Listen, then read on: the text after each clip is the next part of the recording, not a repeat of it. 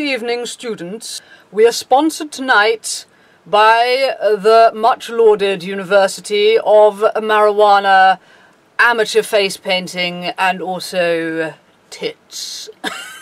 it's fucking hot, man. It's fucking hot in this room. And, uh, as, as such, we're, we're just going to be somewhat underdressed and, and painted like a rave fairy, which really feels quite appropriate for the subject matter. Because, yes, I have been meaning for a while to finally tell the tale of the rather perverse day when my quite long term and pretty severe eating disorder was miraculously cured pretty much entirely in one day by a mushroom trip, which is something I've kind of mentioned in passing, but I've never told the full story of. And uh, one of the reasons that I've not really told this story before is that it's not really what people want to hear um, when it comes to eating disorder recovery and things like that, because people you know, if you have been depressed and you have been anorexic and all the rest of it, and you recover from that, you're a very, a very colourful, perky person. People do. They ask you, well, like, what did you do? What did you do? How, how did you stop being miserable? How did you do it? And I would love, I would, I would fucking love to have some logical, sensible, sane thing I could put in a book make a fortune out of, uh, uh, you know, and sound sound like some some know-it-all genius who has has the one key to unlocking the door of happiness. And uh, unfortunately, I obviously can't so much do that. All in all sensibility, I cannot recommend this route to anybody because so many people go the other way. So many people who have slightly perilous mental health, and many people who are completely fine actually experiment with all the drugs I experimented with, and it really fucks them up and makes them very depressed and suicidal and voices in their head in some cases, and it can be bad. So it's it's a huge gamble, but equally. I really don't feel that telling anybody how you recovered from depression or an eating disorder I think it gives people hope, but I don't think I don't think you can ever say, "Oh, oh, here's the key that, that cured me. Here, have it." That'll let you out because it won't work. Everybody's door is fucking individual, and you have to find your own key. But uh, obviously, you know, to, to sort of get a little bit more into the history of all of this, you know, for centuries, humans have you know, human tribes have relied on psychedelic drug trips as the way that you get over your problems. You know, if you have problems in your life, if there are things you can't overcome, you go to the shaman and he gives you a magical potion and he guides you through your trip. And that is really one of the most kind of original forms of therapy that, that we have. And, uh, you know, even in the modern day, science is discovering the potential between you know the potential behind psychedelic type drugs and uh, mental breakthroughs. There definitely is potential there but but as a, as a final plea disclaimer if you do hear any of this and think, you know what, this sounds interesting, or if you see a lot of the stuff that's going around at the moment about microdosing shrooms and LSD and how it's really good for depression, do your research. I really recommend, I'm actually watching one of his videos at the moment, Psyched Substance. Also try Erowid. And for God's sake, if possible, get yourself a test kit. Before you put anything in your body, be more careful than I was in the days when test kits weren't really so much a thing. So anyway, moving on, ugh, moving on from six minutes of, of tedious warnings and disclaimers, but you know what YouTube is like these days with drug stories. Even if you're, even if you're just trying to be harm reduction education, they, they still try and kind of ban your whole channel, so you, you gotta do a bit of this.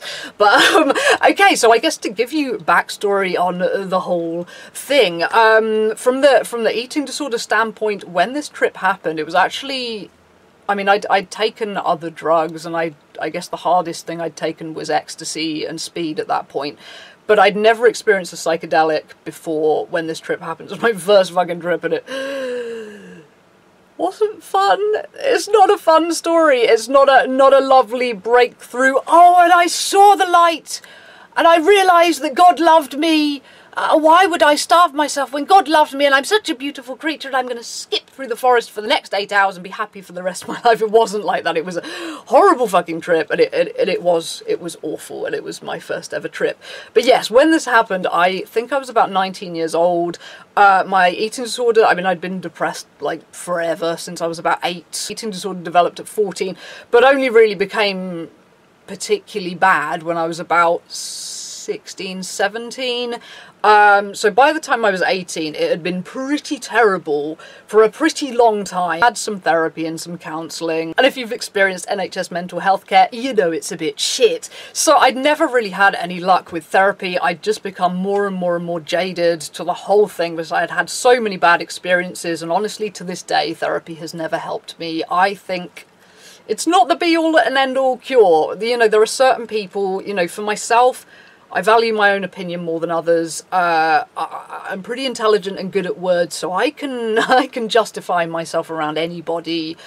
And uh, I'm very arrogant and very stubborn, uh, and I don't listen to people. I have to fuck up for myself and that's the only way I learn. So therapy not not for people like me it doesn't work. Uh, so all in all I'd, I'd, attempted recovery on my own in this really blundering dangerous way but it hadn't really improved my behaviors that I was really a sort of hybrid um, bulimic anorexic uh, you know anorexia purging type was was my label.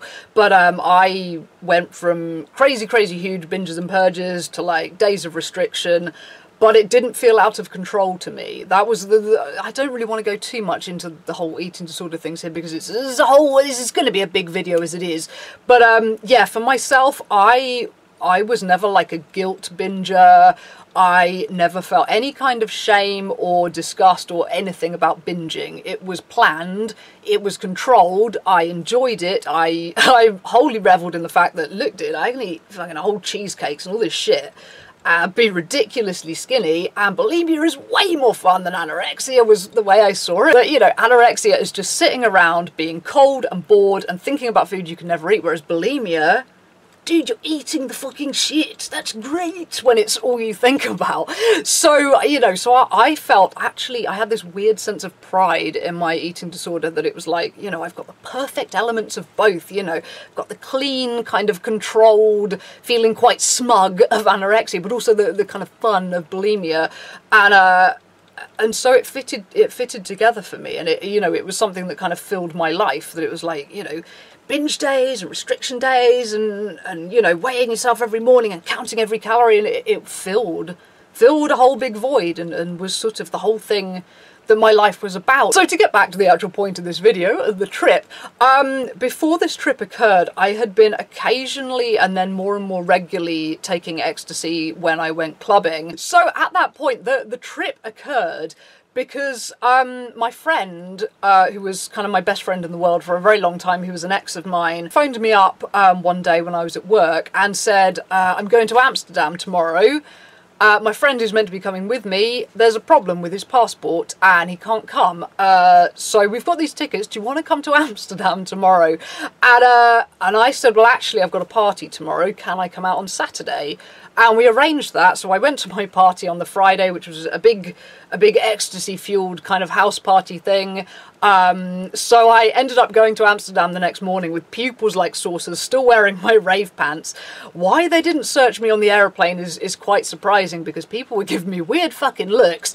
But um, got out to Amsterdam and, uh, I was like, wow, it was the first holiday, actually, I think of my entire life that I'd ever been on just with a friend. So it was really like, oh, oh, I'm adventuring with my friend. I'm out in a big, a big city, big city where weed is legal and everyone's smoking it. Oh my god! And, uh, and it's just the two of us, and we can rampage around, and everybody is young, and everybody is a backpacker, and it's ah so fun. Um, so yeah, so Amsterdam. I didn't actually trip in Amsterdam. I got the shrooms there.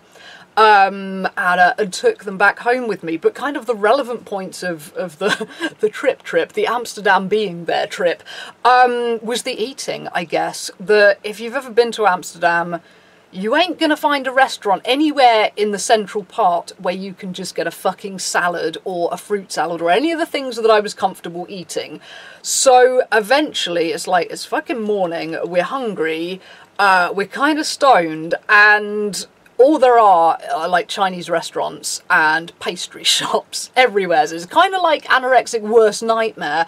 Um, and I, but I didn't want to be like a whiny bitch about it. If I'd been there with my parents, yeah, I'd have been a whiny bitch about it. Um, but being there with my friend, it was like good peer pressure. It was like, well, I, what, you know, he's he's cool and I like being with him and why why would I ruin this experience and ruin his perception of me by being that boring little cunt who stops everyone having fun and has a complete paddy in the road because they won't just eat a normal meal like a normal person for one fucking day. Uh, you know, I didn't want to do that. So in the end, into the Chinese restaurant we went. Uh, nothing, nothing safe on the menu at all. Uh, you know, and I wasn't the kind of person who wanted to go puke in a in a restaurant toilet, so that was out the out out the window too. I had to actually eat it and digest it. Um, so anyway, I ordered sweet and sour thing with rice, probably. Um, and, you know, I, I, I wasn't even going to do the thing, you know, where you start dividing everything up on your plate and you kind of create like a little, a little bit on the side and you're like, okay, well, that's the safe bit I eat and everything else on the side of the partition, you don't fucking eat that. And I didn't even want to do that. I was like, you know, I'm, I'm wandering around the city. I don't want to be hungry and miserable. He's eating his food. He's enjoying it. So I'm just going to eat mine too. And, uh, and so that was what, what happened for the rest of the weekend was that when he ate, I ate. And, uh, and I ate what he was eating. And, uh, and it was really nice. You know, any anyone who's ever even temporarily recovered from an eating disorder, an under eating disorder, um, you will know just how amazing you instantly feel when you have enough calories in your body. And it's like, wow, fuck, I, I have I have energy, you know, because I mean, I, I guess I will get to this with the realizations that the trip gave me. But when your brain is so depleted, everything is so grey and so blah, and you're so irritable all the time, and then suddenly to feel like you could just like run up the street and back for the sake of it because you've got batteries again. it's pretty amazing. And um, you know, so there was that, and there was like all the weed and the exploring this beautiful city, and uh, and it was all really fun, and it was over way too quickly. Um, so I came home with my mushrooms, which I didn't know it was illegal. I thought fresh shrooms were legal. So I just tossed them in my suitcase and I flew home.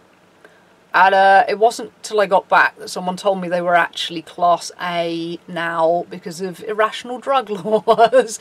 so that could have gone very, very sideways. Do do be sure to to check check the legal issues if you're going to go to a country like Amsterdam and, and go home with souvenirs. But anyway, I got home and it was it was kind of like a double clusterfuck actually that you know it was coming back from holiday which always sucks. It's always like a head fuck you know that you come from this amazing place and then you go back home and if there are any problems in your life already you see them magnified and it's like oh my god my life is shit. I don't like it. But uh you know it was that. But also i was going from being with like my best friend on the whole fucking world like absolutely my soulmate spent the weekend together and it'd been so fucking fun. And then I'd come home and I wasn't with him anymore and my house was empty because my parents were also on holiday. So all there was was me my two cats and my dog, who at that point was very young and very crazy and loud, and I've just, wow, I've lost so much weight, my ring came off. My favourite one. Oh fuck. Anyway, where was I? Yes, dog. Dog was crazy in those days. Um, not good vibes to be around when you're tripping. Animals, animals can be lovely when you're tripping, but you do not want a big shouty, crazy dog as a trip buddy. You don't. But um, anyway, so I get back home to this depressing empty house and my depressing fucking life for me was, hey, I'm home now, I'm going to stuff my face with sweet cereal and cakes and ice cream and throw it all up. And uh, when you do that, it does kind of fuck with the hormones in your brain. I swear that you usually end up feeling either very kind of high in a weird dizzy way or eh, more usually the more you do it you end up feeling quite kind of limp and depressed. Um, so that's that was what was happening the the time that I decided to take the shrooms was back in an empty house feeling shit um, just like puked my guts up so I feel even more shit. And uh, uh and I thought well I'm bored. I'm bored and I'm miserable so I'm going to take some drugs because that'll kind of cheer me up and give me something to do. Uh, you can see the kind of mis misapprehensions you get when you go into actual psychedelics from ecstasy. That you know, ecstasy is kind of psychedelic. It is very psychedelic sometimes, but it's so uplifting and so positive that whatever happens doesn't scare you. So I was thinking of shrooms like they were ecstasy, like, well, yeah, I'm just going to drop this and it'll cheer me up and I'll bounce around and I'll see some colours and it'll be really fun. And I had done no research whatsoever. I'd done no research on on mushrooms at all. I mean, it's crazy to me because I'm so obsessive about researching things now. Like, I, I would not conceive of just taking something I, I hadn't researched. But then I'm just going to see some, some little pixies and I'm going to see some colours and oh, it'd be quite fun. It'd be a bit like being stoned, but with pretty, pretty patterns to see. And it's like, you know fucking nothing because it is the misconception of tripping that it's it's all visual everything is visual that you know you're just like maybe a little bit giggly but you're just kind of like wow oh my god wow this is so cool and so long as that you remember that you know even if you see a scary thing it's not real then uh, you'll have a fine time and uh, that is really nothing like any psychedelic I have ever tried. Visuals, you may not get any visuals. I would often find if I was tripping and I was a bit stressed out, my brain would blot out the visuals and I wouldn't see anything. Um, you know, the visuals are like the snow on top of the mountain. Um, because bear in mind, you can trip with with every sense, as in you can hallucinate with every sense. You know, you can hear things and feel things that aren't there which most people aren't prepared for. Um, and the, the mind fuck. The mind fuck is a huge thing that you, you can't conceive of until you've tried it and experienced your own brain because everyone's brain is going to mind fuck in a different way. You don't know how weird and unique your your brain's interpretation of what the fuck is going on? Everything I think I know about the universe and myself is unravelling before my eyes until there is no language. I I am floating out of my body. I I am an entity beyond time, space, and language, and I you know how how how your brain is going to respond to that you don't know till you get there but uh I, I didn't know these things so i i just i just took the mushrooms and uh and then I think I went, yes, I went upstairs and probably smoked a bit of weed and I was on the computer. I didn't even have my own computer back then. I was over there in my parents' room on their computer. Um, and I, I was on like, you know, old kind of dial up things. I was on LiveJournal, like there was no Facebook, probably no YouTube. So I was on LiveJournal and I was listening to music.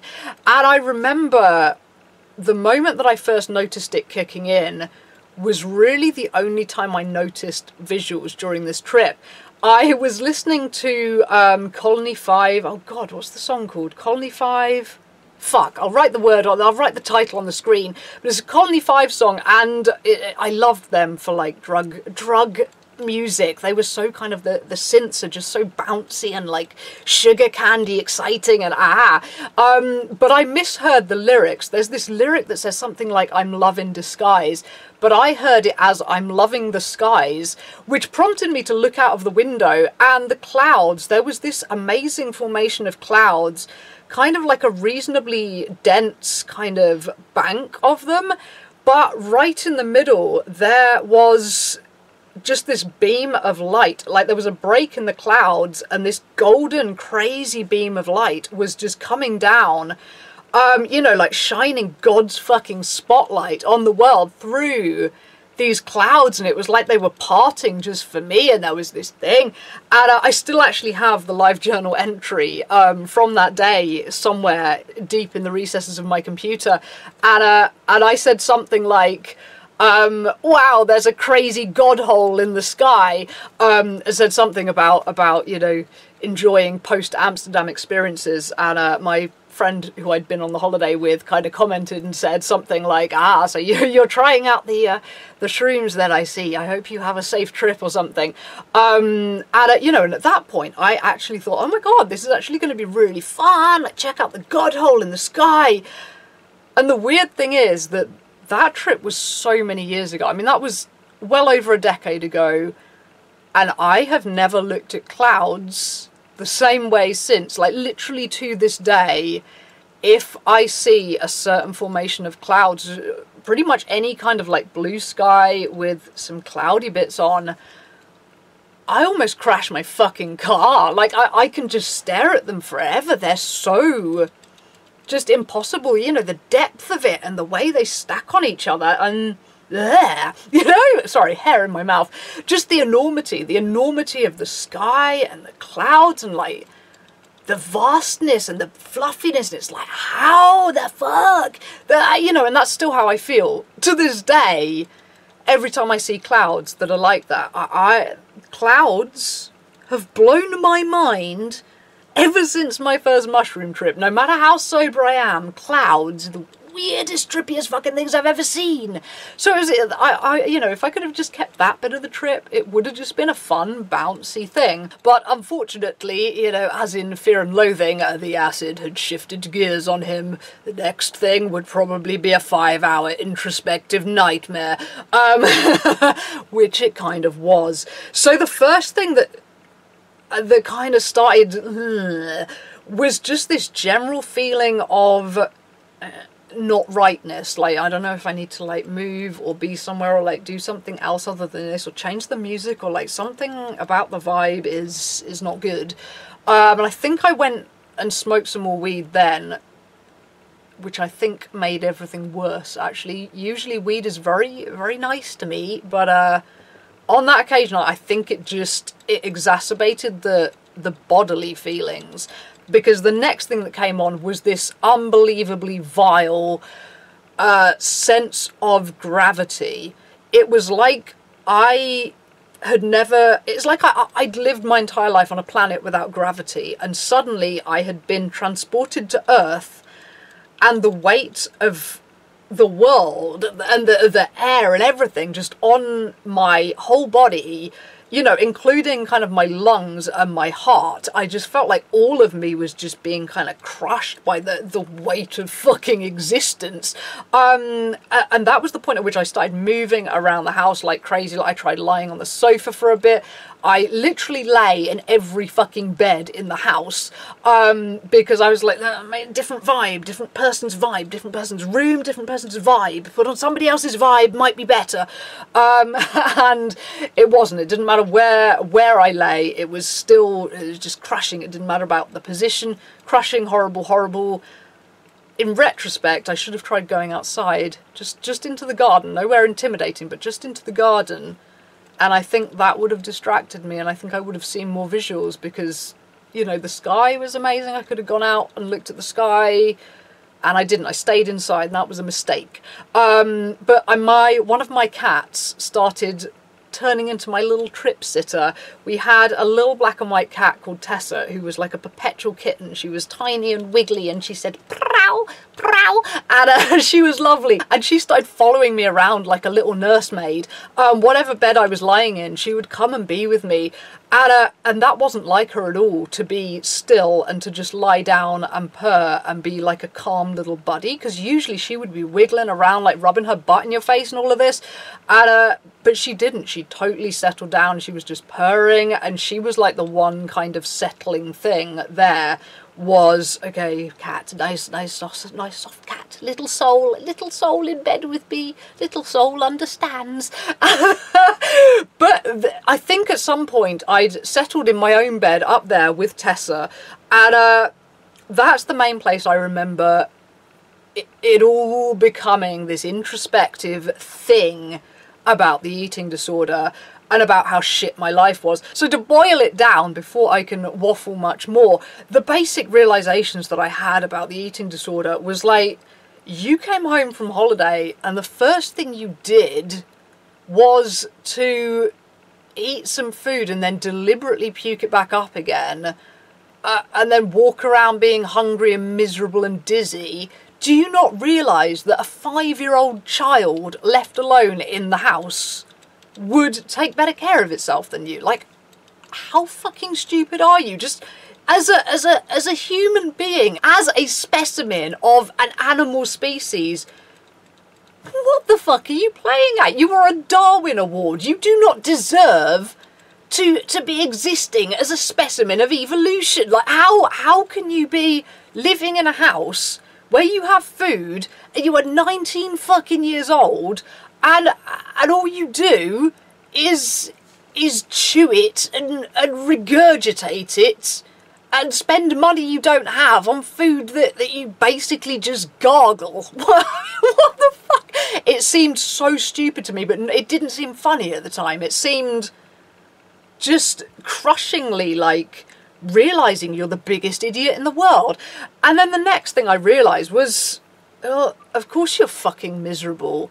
There is no way in hell you are ever going to be anything other than miserable if you keep doing this. That to me, it became this analogy of like a car. Um, you know, that your soul, your soul is really you, but on this plane of existence, you you have a car, which is your body, and it's the only way you have of moving around on this plane of existence and experiencing anything. And so, if, you know, your car, your vehicle, you don't put fuel in it, you slash the fucking tyres and set it on fire, you are just going to be stuck at home in your shitty little apartment staring at four walls and, uh, you know, and watching flies buzz around and you are going to be miserable as shit. Of course you are. How can you ever be anything other than miserable when all you do is is sit inside your own brain with no stimulation, no entertainment, no amusement, what do you expect? Whereas, you know, your car, put fuel in the bloody car, fix it. You you can go anywhere. You know, you can you can go and see the Taj Mahal. You can go to Disneyland. You can do anything, and you might not enjoy it. You might still be bloody miserable, but there's a chance. There is a chance. Um, you know, because it occurred to me that well, duh, your brain is fucking starved your brain is is starved. Look at people who are normal weight and eat normally; they just get a little bit hungry because their dinner is late. They get tetchy, they get irritable, uh, they get miserable, they snap at everyone, and it's like you've taken that state and you've gone, you know what, that looks fucking fun. I'm going to live in that for years and years and years and exacerbate it as much as possible and I'm, for some reason, I'm going to complain about the fact that I'm unhappy. Are you thinking, what do you expect? There is no way you can ever achieve a state of genuine happiness while you are starved and malnourished and depleted of all sorts of things that make your body work. Uh, you know, you, you have you have to fix the car. For the car to run, you have got to fix the fucking car, and then you have some chance of being happy. Uh, basically, these were the realizations, and they went round and round and round my head for eight solid fucking hours, and time had slowed down. I mean, literally, I would feel like, oh my god, half an hour of this nightmare has got to be over, and I'd check my watch, and it would be two minutes. and I'd be like, you serious? This is. I don't think anything is ever going to change again. I think I think this is what existence is. It's just lying in this bed and are being fucking whipped and whipped and whipped by this like internal therapist who's hard as nails about how stupid you are and you can't escape it. This is all I am ever going to experience for the rest of my life. And uh, eventually, eventually, thank God, it did start to fade, and the, the feeling of being crushed by gravity never went away. It was horrible. Um, but the, eventually, it started to fade, and I was just feeling kind of like just shaken and just kind of shell shocked by the whole thing. And uh, I remember being downstairs with my dog and the sofa bed out and, uh, and watching Black Books. And it was the episode where Bill Bailey's character um, gets locked in the shop and, uh, and he's, he's like eating toasted wasps and saying, I'm a lonely little soldier. And I was sitting on the bed, like wrapped in a blanket, going, I know how you feel. I'm a lonely little soldier too. This is an intense fucking day. And uh, eventually, eventually, I got some sleep. But um, yeah, the the realizations I had had been beaten into my head so profoundly by the end of that shit that um, the very next day I put all of that in into action, which for me was to up my calories a day from whatever they were at that point, probably something like 700 to 800 a day on restriction days, I imagine, um, which is not enough. Not enough. It's, it's not as ridiculously low as some people go, but it, it's, it's still still going to make you a bit crazy. Um, so I, I upped that to 1500 a day, which, you know, some people will say is still not enough. For me, it's basically what I've lived on all of my life, uh, apart from you know being a bit flabby at the moment. But most of my life, I've stuck to fifteen hundred, and I think fifteen hundred is is honestly the perfect number for most humans who are fairly sedentary. I think if you've got an active life, sure, the two thousand they recommend maybe you need that, but actually most of us, we sit on our fucking asses all day. So 1500, I upped it to that. I mean, admittedly, my 1500s these days are with a bit of leeway. Back then, I, I couldn't, it took me a while to actually free up, like, you know what, I'm going to eat a thing and not look at the calories. took me a very long time to be able to do that. But for this first stage, up to 1500. And, uh, and I found it did exactly what the mushrooms had told me it was going to do. That, um, yeah, you know, I gained some weight, but it wasn't that significant. I was still very, very, very underweight um, for quite a long time on 1500 calories a day. But it, it took away the craziness that sets in when you cut your calories down too low. Um, you know, all the, the just the misery and also the food obsession, which leads to binging and purging. I've never been a bingy person. Normally, if I'm eating well and I have no fucking desire to eat a whole cheesecake with a spoon, but at the minute I limit myself too low, it's like, uh, yes, I'm going to be doing all that stuff. So that that element just went away because I no longer had any interest in it um, I you know I had more energy, I, I, had more more brain power to, to do things and to talk to people. So going out and, and taking ecstasy and, and progressing on to more and more and more psychedelics, having more weird experiences. So yeah, so basically drugs drugs were a bit of a wobbly path, but it got me out and it gave me it gave me one of the happiest years of my life. I mean the the year that honestly stood for many many years as the happiest fucking year of my life started really with that shroom trip, with getting out of the worst of the eating disorder and just really throwing myself into having a life and experiencing things, experiencing more things, and having a fun time. And uh, yeah, and I mean, I have I have kind of relapsed with the eating disorder since then but I've always felt like a tourist, like a complete fucking tourist. And honestly, other people see it in me. Like people I, I use, well, I still know, but people I used to know better from eating disorder forums. Like if I return there kind of semi relapsing, they know I'm a complete fucking tourist.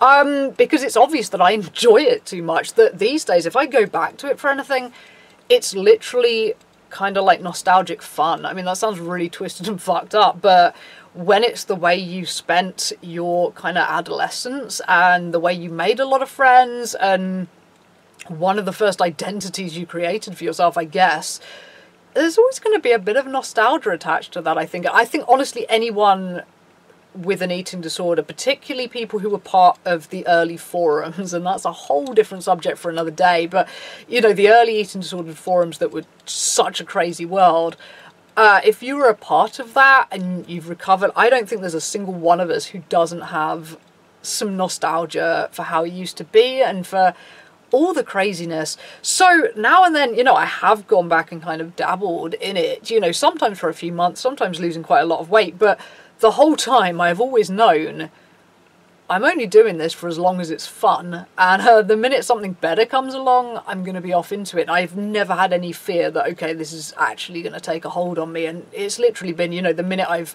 kind of got a new job or found a new interesting drug or just just got fucking bored of it, uh, the eating disorder is gone, and um, it never it never becomes that kind of absolute compulsion with rules that you wouldn't even consider breaking. It's always a kind of optional this is kind of entertaining for a while makes me feel young. Um so yeah on that day everything everything was broken and i have talked for the most ungodly length of time so i suppose i'm going to shut up here. But uh yeah so there's there's the story of the weird way that i mostly got over my eating disorder a very intense therapy session, all inflicted by my own head and some fungus, which took place, and it, it literally was like years and years of therapy condensed into eight hellish hours.